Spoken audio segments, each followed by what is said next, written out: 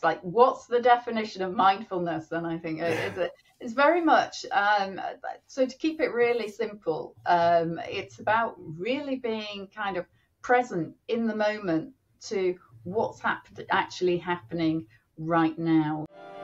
Welcome to Living Well with MS. This show comes to you from Overcoming MS, the world's leading multiple sclerosis healthy lifestyle charity, which helps people live a full and healthy life through the Overcoming MS program. We interview a range of experts and people with multiple sclerosis. Please remember all opinions expressed are their own. Help others discover living well with MS.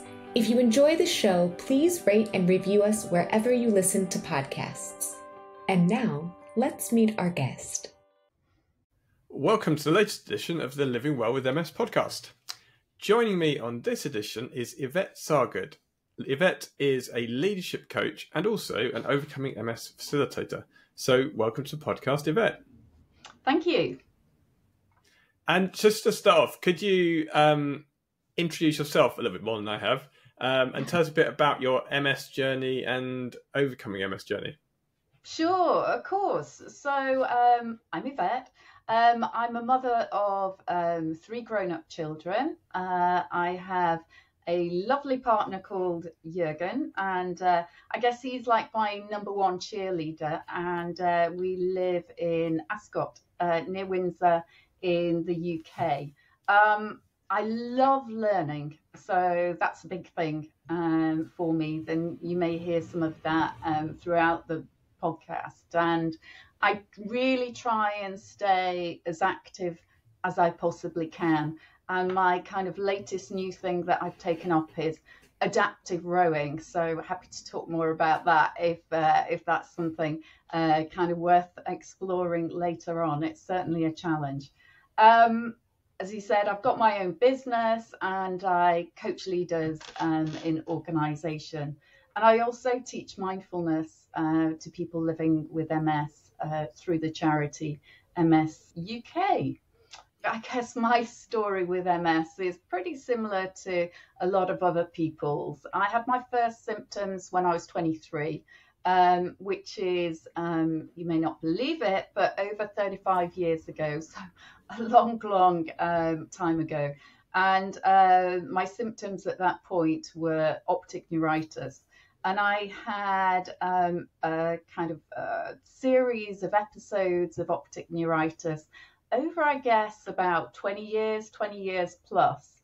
Um, so I managed to avoid um, diagnosis. I think I really sought out, if you like, the more passive neurologists who were very happy to just let things be. You know, the well, let's wait and see what see what happens.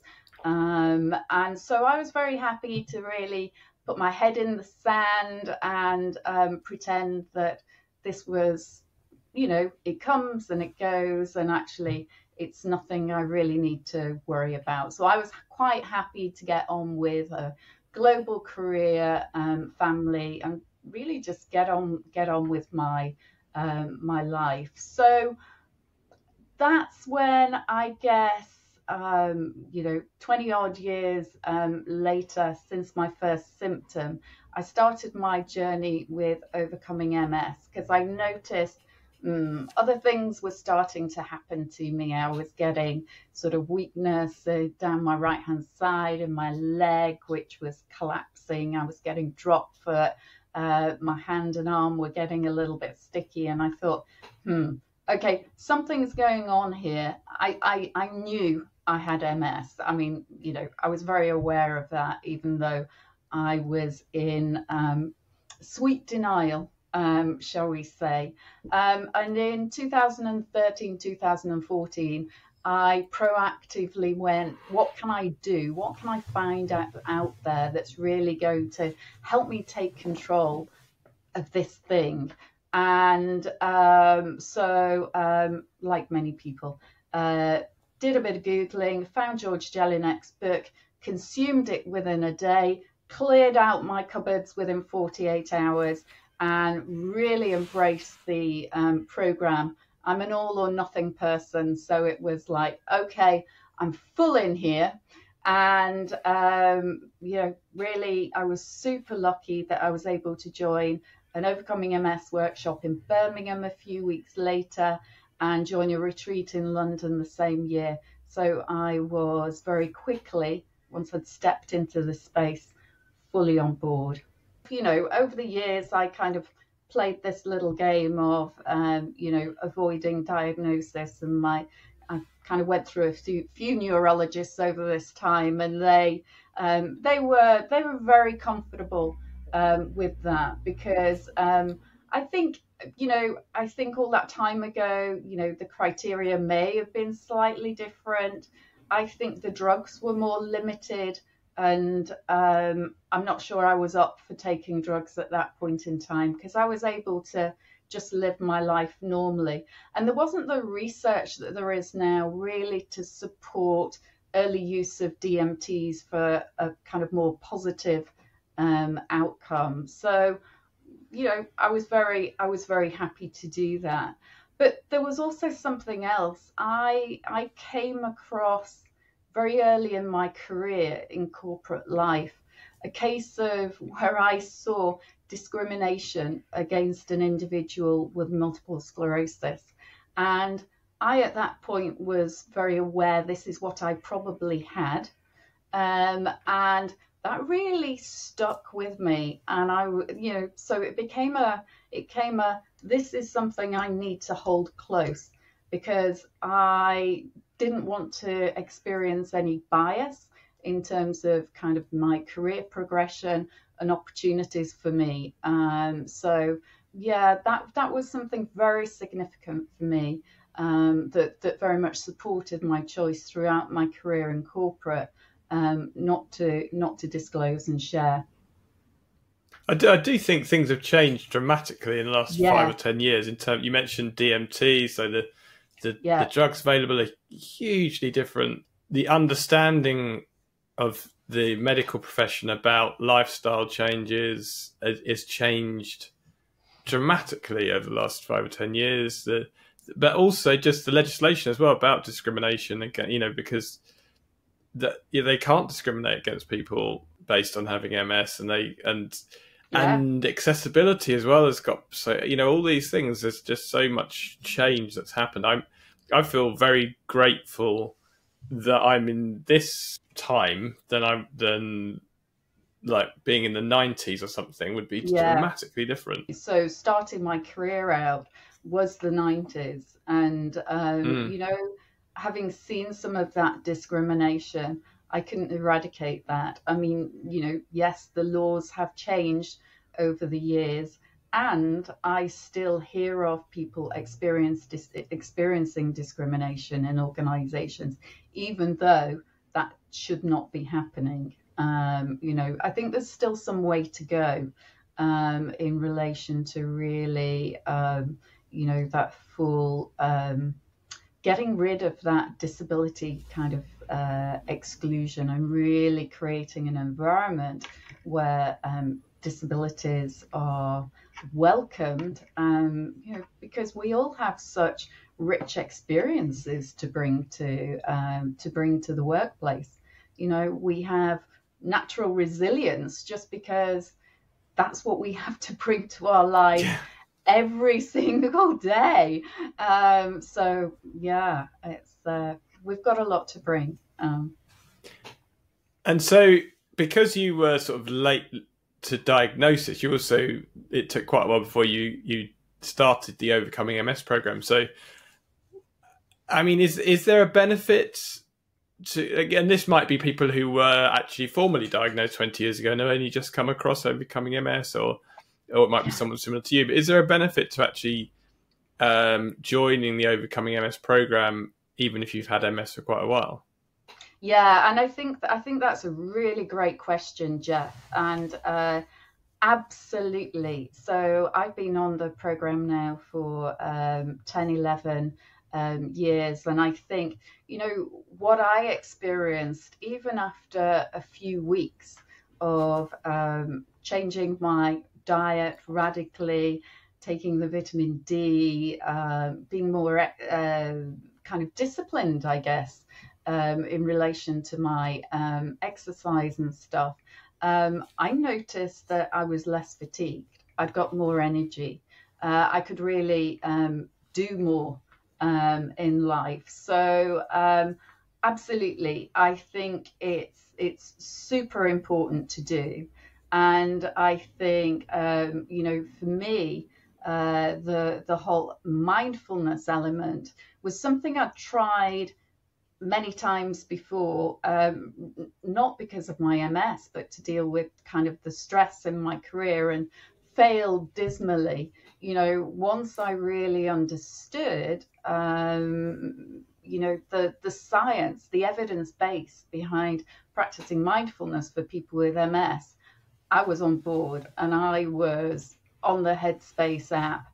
And um, you know that was that was a fundamental shift for me I think because I'd lived so long in denial with my MS, it was such a fundamental shift in terms of actually moving into a place of acceptance um, and actually starting to give myself a break, you know, starting to be a little kinder to myself because I was very critical and harsh with um, all the things that I couldn't do um, in, in life. I believe you did start a disease modifying therapy in 2016, and and and just to be clear, that overcoming MS is not against disease yeah. modifying therapies. It's actually one of the pillars. It's it's you know take the best advice you can. Um, you know, alongside diet and exercise, vitamin D, but I mean equally disease modifying therapies. How did that go? I mean, again, so after having MS for a while, you, you did go on to a, D, a DMT. Um, and I how did. did you find that? Yeah, well, I, I would actually been to see um, a neurologist who said, "I know you've been avoiding diagnosis. However, I do think there is a drug that may be helpful for you." And so um, he pointed me in the direction of um, somebody at Charing Cross who could um, support me with that. And um, so I proactively at that point sought a diagnosis and guess what? I got a diagnosis because I had MS. you know, there were like multiple lesions sort of floating around, and um, and so um, and and the drug I started was Tecfidera. So even for that, even though that's for um, you know predominantly relapsing, remitting, um, I responded positively to um, to um, doses of steroids, which meant that I still had some activity within my body. So there were two ticks to say, actually, um, that does mean I can take Tecfidera even though I've had MS for you know however many um, years. Um, but but there's also evidence to show that it can slow down progression as well. So you know I'm in that camp of relapsing remitting progression, and I think there's a move now to kind of try and move away from these different MS labels. Um, so so that was my experience, but it's a bit like a minefield. I mean, it took me six months to actually um, start the drug. Um, you know, because it's really scary I'd been drug free up until that point in my life. So it felt like a real big step to actually start to take a drug that potentially I'd be taking for a, a long, long time. Um, so yeah, it was it was hard, and I'm actually at another decision point now because um, on an MRI, um, I've just they've just found um, a kind of new. It's called a very tiny lesion, apparently. So I'm not sure how big or small that is, but it's, it's super tiny. That was the, ra- radiographer's kind of description. Um, now, you know, do I kind of up, do I step up to Ocrevus at this point in time, or do I stick on Tecfidera because, you know, there could be a case for saying, well, everybody with MS is allowed one kind of tiny new lesion every 10 years. So you know, I I don't know. So again, I'm in that process of hmm, what do I do? And but what I notice is I'm not getting as caught up right now with that process as I did first time round, and uh, I don't know why. Maybe I'm just a little bit more settled um, around it, but yeah. we often ask um, when people go onto the Overcoming MS program what they found found hardest to um, to actually adopt, and, and a lot of people say, I mean, I'd say the most common is mindfulness, but you mentioned uh, mindfulness already. I mean, it was that a problem for you, or did you find other things difficult? Chocolate. Chocolate. Chocolate. Chocolate was the hardest thing for me. And uh, I was talking about that workshop I was able to join a few weeks after I'd um, started the program.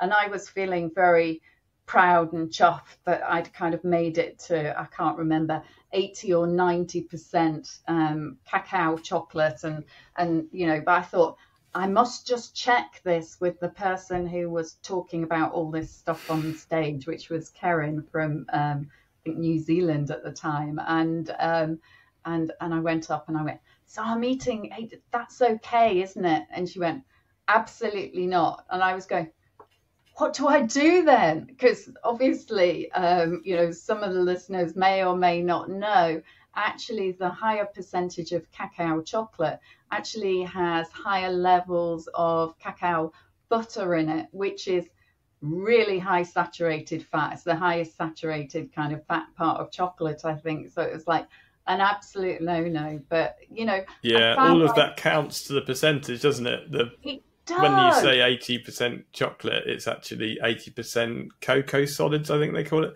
which is yeah. basically all the fat and everything. It's not just the cacao powder. So I really thought I'd found a way of like getting away from, you know, replacing my chocolate buttons with this. And it was like, no, that isn't the case. So, um, but you know, I'm very happy now. I've got, you know, with my 100% cacao powder, um, hot chocolates, and um, you know, I make my cacao balls with almonds and dates, and it's all good. So I'm getting my chocolate fix, but just in different ways. The Overcoming MS Chef's Card. Um, if people haven't mm. come hmm. across that before, still in restaurants. The last two restaurants I've been to have gone. I've gone. Okay, what can you do? Give this to the chef, and he can come back. And what they do is come back with the menu and go, you can have this without, we'll take that out, we can do that. So, um, and again, I think someone at the workshop I joined all those years ago said, you know, if they can't actually make the food you need, you're in the wrong restaurant. So, um, you know, kind of just really finding. Yeah, no, I had an amazing thing. I had, we went for a, um, it was like a, a sort of end of season ball for a surf lifesaving club that I'm involved with, and they and they um, they had a buffet, mm. and I'd given the chef my card, and he'd done me a sort of main course because there wasn't much on the buffet that I could have. And then he came out and he said, "Oh, the thing is, they can keep going back for more and more." But I'd already eaten the meal, and then he said, um, "He said, but do you want something else?" Because because actually there was some vegan stuff that I could have eaten, but everyone else had eaten that already because it was really nice. Um, and he just said, "Oh, he said, oh, I'll, I'll, but no, you need something else. I, am gonna, I'll cook you up something." Oh. He just did me this extraordinary meal, and he was just like making this amazing. He basically was showing off his, his sort of, yeah. and I think if they like it, a good chef enjoys it because actually they probably get bored of cooking the same things again and again and again. But a sort of challenge of like, oh right, okay, let's try. yeah, it is. It is. It is a challenge, isn't it, for them? And uh, yeah, so it's great. It's good. So, um, and I, I hear that you that that actually when you joined the program, this this annoys a lot of people that you lost too much weight. Um, but I mean, I yeah. would say that if you're on a apart from MS, if you're on a plant based whole food diet, it's actually very good for for weight management as well, and that which yeah, I think most of us have found. So, did you? I mean, did you find it a problem, and and have you managed to resolve that and get to a what you consider a healthy weight? yeah, I, I, I, I, well, you can be the judge as whether I'm a healthy weight or not. I, I, I, I, I think I am. And uh, yeah, I, so my husband actually um, follows the diet with me, and we, we kind of at the beginning both lost so much weight, and we probably didn't have that much to lose anyway. And um, I, we just overcame that by um, just eating more, um, filling our plates full of all the kind of nutritious food that we were eating, but it was just really a case of going, actually we just have to increase our portion sizes now. I mean, most people are trying to decrease them. We were just like having to just eat so much more. Um, but yeah, and, and and find the rhythm, you know, because um, to start off with, it, it was a bit boring as well because we were trying to kind of cook the same few meals, and now we have our full repertoire, and hey, we're good. We we love our food. Yeah, we'd never go back. And I think you need a you need a new set of cookbooks, don't you? You need to yeah, you do. throw You away do. all the old cookbooks, but and there are some Yeah. fantastic. I mean, well, just to call out one, which is which- just from a meal I had last night was Ashley Madden, who is Ashley Madden's a, someone with MS who's following overcoming MS and has written two cookbooks. Um, but her food is just delicious, and like you say, I mean, I just this pad thai salad that she does, and I just had a massive bowl of it, but it's just so full of different uh, vegetables and and and just yeah, plain healthy food. But you can just eat loads of it because um, yeah, it's all good for you. What sort of benefits have you found then? So from following the, the program for quite a long time now, have you had improvements from that?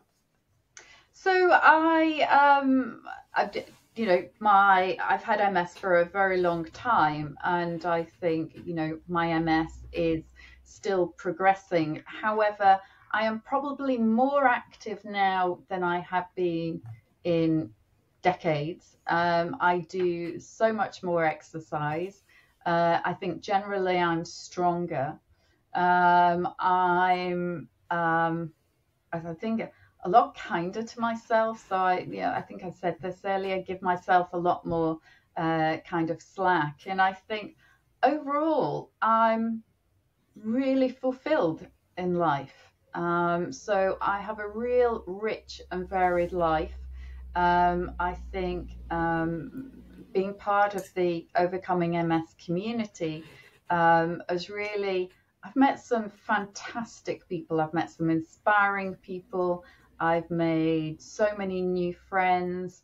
Um, I think it's really equipped me to explore different things. Um, so I've really kind of opened up to new experiences. I'm a bit more kind of brave and courageous than maybe I'd been um, in the past. You know, I started to do a MSc in mindfulness part time at Exeter University that I finished in 2020. So actually, the whole program has just opened up so many new avenues for me that um, I just wouldn't have got to, I don't think, um, any other way.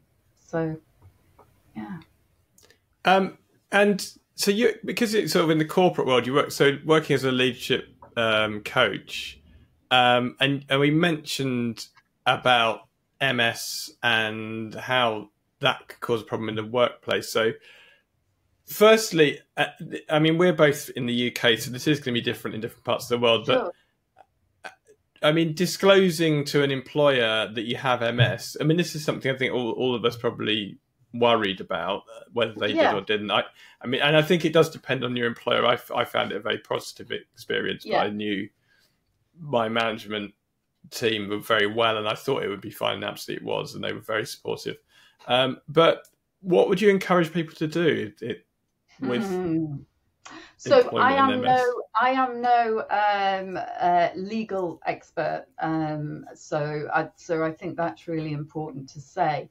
Um, and people have no obligation um, to disclose their diagnosis of MS um, to their employer.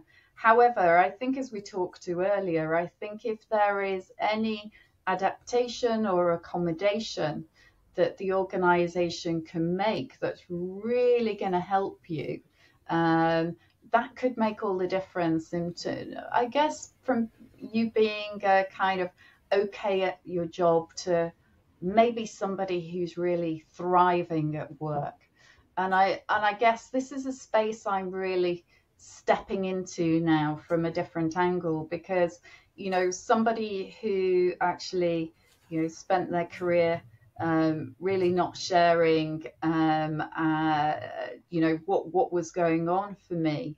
I'm very conscious that there is a really stark underrepresentations of leaders at the top of the uh, top of the organisation. So there are very few senior leaders um, with disclosed disabilities. And um, you know, I, am kind of now really working, um, you know, and and helping organisations think about the impact of this of not having those kind of role models at the top of organizations that people lower down can go there's somebody like me at the top of the organization. So having a disability um, something like ms you know, um, is is not going to get in the way of me pr- progressing um, in my career. So i'm really supporting um, that kind of drive that there is now through my through my leadership coaching so that's that's really important uh, for me now within my work. And I, I wrote an article and... actually with a with with a collaborator. So if anybody's interested in that, maybe we can post that at the bottom if if anybody wants. Yeah, we can put links in the show notes. That. Absolutely. Yeah, yeah. Um, so as a facilitator for overcoming MS, um, I'm aware that I mean, so I've been on uh, overcoming MS retreats, and so the facilitators have a specialization. So, firstly, um, what um, what sections of the Overcoming MS program um, do you do you lead the sessions in, um, and how have you found becoming a, a facilitator? Yeah, so um, probably no surprise. Uh, my kind of area of specialism is stress management and um, specifically uh, mindfulness. So um, that's that's where I um, contribute um, as a facilitator. Um, so I am a newly qualified um, facilitator, and I've done a few things um, to date. So I did a session for all the Overcoming MS volunteers last year.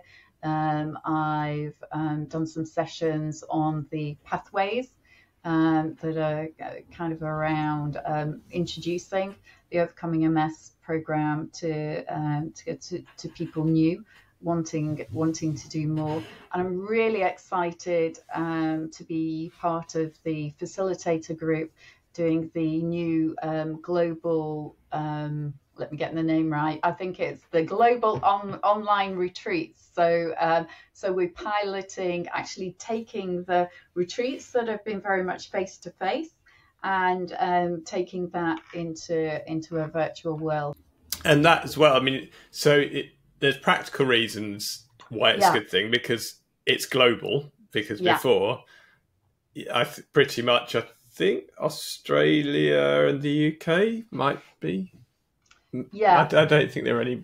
So, so if you were in in Peru, it would be really difficult to get to an overcoming MS retreat, and also uh, financially as well. So it's so it's much more cost effective. Um, that a lot of this content is online, but but live as well. So it's not just there will be things to take away, but there's also live sessions. So it's um, it's something people can do from home, or or join it in a group of people as well. Um, if you've got an internet connection, you can.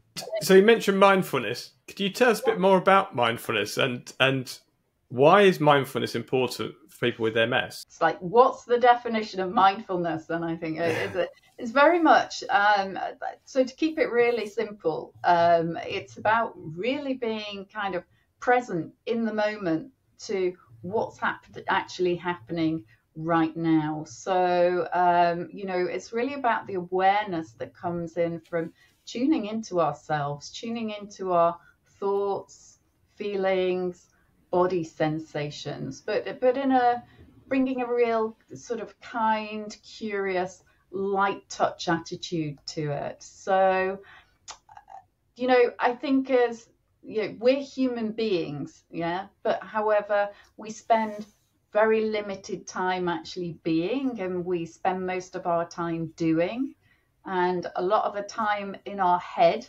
Yeah. So, um, Geoff, I don't know. Um, I'm sure, like most of us, you know, you've probably got examples of where you've been in a beautiful place, you know, sitting by the sea and watching, you know, by the ocean or being in a park and maybe you're actually really not present. You know, you're not feeling the water as your toes are dabbling into the ocean, or maybe you're not hearing the buzzing bees around or noticing the trees in the park or the sun on your face, you know, because actually you're listening to the chatter in your mind. You've got carried away by sort of different thoughts that are maybe taking you to not so helpful places, worries about what might happen in the future or, you know, churning over stuff that's happened in the past. And that's really kind of mindless stuff. That's about when we're having our mind full. And what we're trying to do when we're mind full, not full, but mindful, is is really being here, really tuning into our experience right now and getting some joy out of that. Because, you know, particularly for us with MS, that chatter of the mind, getting carried away by our thoughts, um, really just adds another layer of stress onto maybe the challenges that we have in living with such a chronic health condition anyway. So so what mindfulness can do, the research really shows the stress buffering effects of uh, mindfulness. So it's shown that actually there can be, um, you know, a perceived reduction in the stress that we experience through practicing repeated and regular mindfulness. And there are kind of various studies, probably now over the last 20, 10, 15 years, specifically for people with MS, which show the impact both on the kind of physical and the psychological um, impact of it. So, you know, reduce fatigue, reduce depression and anxiety, maybe improving um, balance. And there's a lovely little study that I think it was about 2014 that showed that actually through mindfulness practice, actually it can um, reduce the number of lesions that appear on an, on an, an MRI scan um, for, for people. Um, and, you know, it can reduce the number of relapses. So, do you know, there's loads of compelling evidence to say, why wouldn't you give this a go? You know, it's. Uh, mm. Worst case scenario might just make you happier. It might just it might just make you happier absolutely. So, you know, a lot of people practice mindfulness in the world, whether they've got MS, another chronic health condition, or not. You know, it can be it can be a great grounding exercise to really be present and actually experience a lot of the joy and pleasant stuff in life that when we're off in our mind we miss. Yeah. Uh, it can be so. And easy. what are some of the misconceptions that people have about meditation and stress reduction? Oof. Uh, well, there are there are quite quite a few.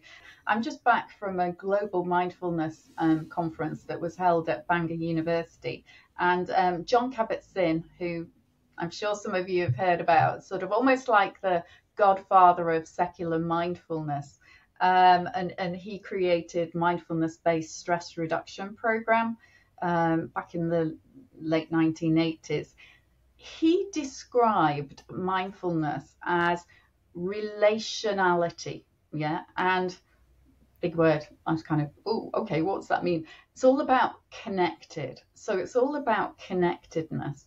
So I think one of the big misconceptions is that actually, if you practice mindfulness and sneak up to some quiet, silent place in the house and, uh, you know, sit and meditate, can almost be perceived as quite selfish, yeah, and you're just doing that for you. And actually, I think you know we know that's not the case, but um, you know that connectedness is it's not just about me; it's actually about we. Because actually, if we can, you know, gain greater awareness um, from our from our practice, then you know we that can really have an impact on our relationships with others. And you know with the broader kind of world at large so it can really shift our how we perceive not only ourselves but how we perceive others and a relationship with them and you know and broader than that. So i think that's a biggie. Um, I think another misconception is that people think it's all about clearing the mind, and it's so not. Yeah, it's really about just noticing when the mind has wandered. We're never going to stop it, and just kind of noticing that and just coming back to whatever anchor we're looking, you know, we're using the breath or the body. And that's where the rewiring of the brain um, kind of happens, and that can really um, sort of dampen that stress response for us. So we're not trying to stop the mind wandering um, or getting carried away. We're noticing it, hopefully sooner through practice, and just coming back. So you know, relaxation. We don't practice mindfulness necessarily with the goal of re- relaxation. That might be a byproduct, but you know, just raising that, I think that's an important misconception. And um, thank you for that. That's a useful tips. But and talking of tips, um, there's something we often finish with. Do you have um, any tips for someone who's newly diagnosed to to MS or is newly taking on the Overcoming MS program? Um, I think um, so. Jump into it. I think you know thinking about the um, attitudes around mindfulness might be helpful. So you know really hold it with a light touch. You know, um, get get curious about ooh what what it is that um, is being required of the program and why that's important. So, really getting curious about that. But I think, um, you know, really bringing a beginner's mind to it. So, thinking, you know, actually, if you mess up one day, that's okay. There's always a next day. So, just kind of learn and just, again, don't be critical with yourself. You know, this is a, you know, it's a journey. Um, and, you know, some days you know it may not go so well but but just just kind of think about the intention what's so important about this that actually you've decided to embark on that journey and really hold that front and center because i think you know if you can really focus on that that will probably help you take the right actions and is there any final thoughts you'd have um, before we conclude? Yeah, it's got to be a final thought about um, mindfulness. And, you know, if anybody mm-hmm. is really struggling with the mindfulness practice, because I, a lot of people say this is the hardest pillar, the hardest part of the Overcoming MS program to, um, you know, engage with. What can be really helpful is to join a course where you're with other people who are starting out on this journey as well. And there can be a lot of support and learning um, from starting, um, you know, to practice mindfulness um, within a course. And um, I think, as I said at the beginning, I teach mindfulness through MS UK. Um, and uh, you know myself and Phil Startin, who's a senior facilitator with Overcoming MS, we both teach um, programs um, through MSUK. So take a look at the website. Maybe we can put the link to the different courses on there um, because you know they're, they're the population of people with MS. So you know it's also a great place to connect with people who absolutely get it um, and um, you know start to engage um, in the practice with others. Yeah. And um, with that, just to reiterate, we'll we'll add links in the show notes, so do check out links to resources. Sure. And thank you very much for joining us, Yvette Sargood. Thank you. Thanks, Geoff. Thank you for listening to this episode of Living Well with MS. Please check out this episode's show notes at overcomingms.org slash podcast. You'll find useful links and bonus information there. Don't forget to subscribe to the podcast so you never miss an episode, and please rate and review the show to help others find us. This show is made possible by the Overcoming MS community. Our theme music is by Claire and Nav Dean. Our host is Geoff Allix. Our videos are edited by Lorna Greenwood, and I'm the producer, Regina Beach. Have questions or ideas to share? Email us at podcast at overcomingms.org. We'd love to hear from you. The Living Well with MS podcast is for private, non commercial use and exists to educate and inspire our community of listeners. We do not offer medical advice. For medical advice, please contact your doctor or other licensed healthcare professional.